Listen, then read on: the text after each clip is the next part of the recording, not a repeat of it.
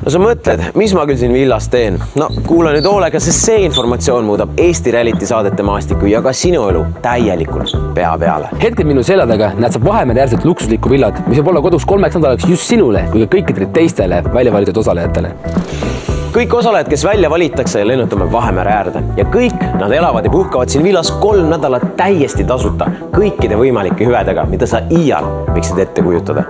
Kui sa oled valmis osa võtma Eesti kõige eksklusiivsemast realitist, et lennata oma elu reisile, et täiega lõbutseda või koguni leida enda ellu armastus, siis valik on sinu.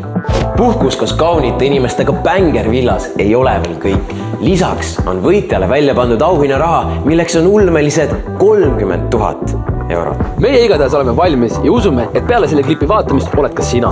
registreerimise ankeedile jääd meie sotsiaalmeediakanalitest, saada meile oma osalemise soov ja kohtume siin päikese all selles unustamatus villas